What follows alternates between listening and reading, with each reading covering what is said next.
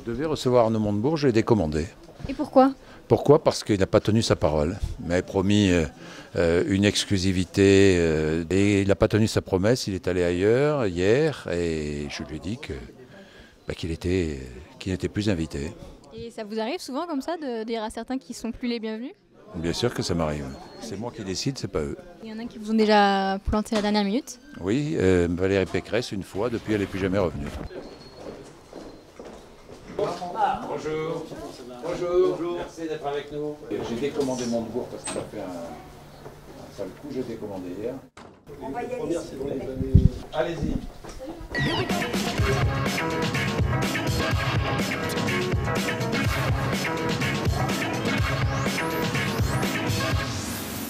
Nous avons comme invité ce matin Pierre. Bonjour.